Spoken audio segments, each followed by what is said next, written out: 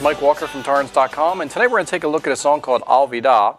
I'm hitting the fifth string and the third string. I'm playing them together, and then I do the same pattern on seven and six. So five and four, seven and six. So let's play that.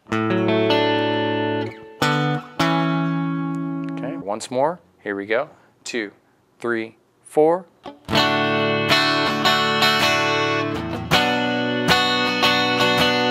So right now what we'll do is we'll just kind of stay uh, uh, with a steady like B minor with uh, eighth notes.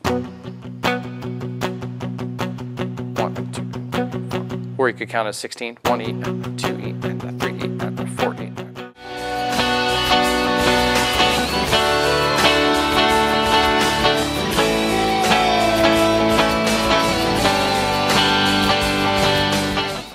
Okay, so now let's take a look at an easy version of section A you're going to modulate that octave part right at 513 you're going to go